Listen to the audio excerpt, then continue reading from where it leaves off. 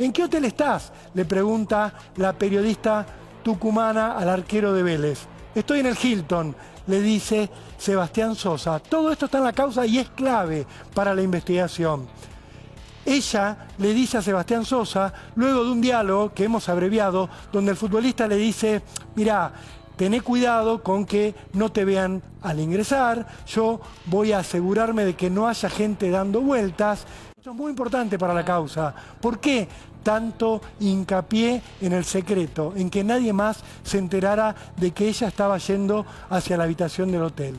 Una habitación donde ella se iba a encontrar, según la denuncia que iba a presentar posteriormente, con un infierno, porque la joven le contó a la justicia que en la habitación del hotel no estaba solo Sebastián Sosa, Ah. que estaban los futbolistas que recién les mencionábamos, Osorio, Cufré y Florentín, que empezaron a tomar Fernet y que ella en un momento se sintió desvanecer, sintió que perdía fuerzas, que ya no podía prestar atención a lo que ocurría. De hecho, en un momento se tiene que recostar en una de las camas de la habitación porque no podía mantenerse en sus cabales.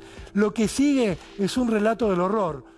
Según va a contarle a sus abogados, ella va a estar acompañada todo el tiempo por los futbolistas que después se van a ir de a pares de la habitación a jugar al casino. Y ella, claro, cuando logra recuperar la conciencia de lo que ocurrió, le va a escribir a Sebastián Sosa. Sebastián Sosa le va a responder, pasaste un buen momento y listo. No te amargues. Por ella favor. le estaba haciendo un reproche por lo que había ocurrido, un reproche más que justo. Y ella le va a decir, lo que hicieron ayer fue muy fuerte.